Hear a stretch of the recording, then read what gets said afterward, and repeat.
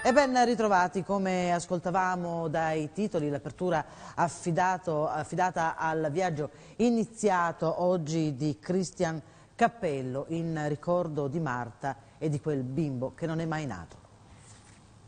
Mazzi di fiori bianchi lanciati nel Brenta, abbracci e fotografie, qualche lacrima, grappoli di palloncini che prendono il volo. Il lungo viaggio di Cristian Cappello è iniziato questa mattina alle 11.35 dalla sua casa di via Colombare ad Angarano.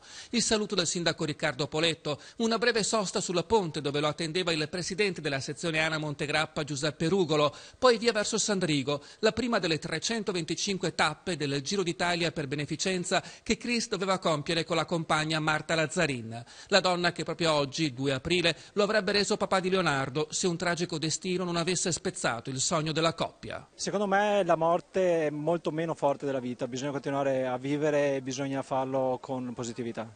Cosa porterai con te di lei in questo viaggio? il suo sorriso. Cristian ha trasformato il dolore in motivazione. Lo aspettano quasi 4.000 km a piedi attraverso 17 regioni, dove raccogliere fondi per la ricerca sulla fibrosi cistica grazie all'ONLUS Marta for Kids tantissima gente mi vuole ospitare e siamo coperti per i primi tre mesi. La stessa sera che ci è mancata Marta, Christian ha avuto l'illuminazione del progetto, cioè, mi ha parlato del suo progetto e da subito siamo detti che eh, lo affiancavamo e che non sarà mai solo, sarà come un nostro figlio e lo seguiremo come fosse assieme a Marta e a Leonardo e al suo fianco, passo dopo passo, Chris avrà anche quanti vorranno seguirlo sia fisicamente che virtualmente. Fisicamente eh, mi si può trovare grazie a una mappa che è presente nel blog, in tempo reale fa vedere la mia posizione, quindi chi si vuole unire mi troverà lì.